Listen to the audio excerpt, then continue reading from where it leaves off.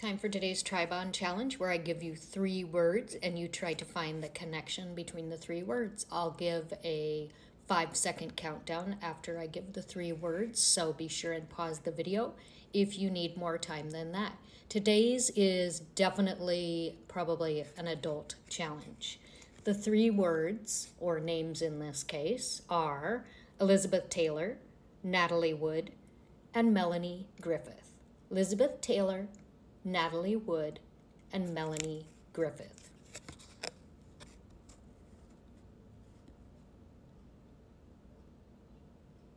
All right, and the answer is each of those women married the same men twice Richard Burton, Robert Wagner, and Don Johnson. Did you get it?